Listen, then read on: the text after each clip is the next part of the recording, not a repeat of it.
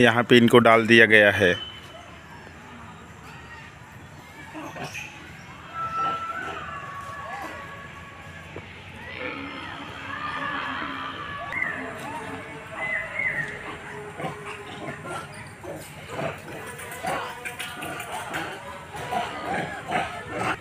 श्री राम के भक्त महीने में एक दिन ज़रूर इन जीवों के भूखे पेट का साथ दें, जिससे प्रतिदिन इनको कुछ ना कुछ मिलता रहे।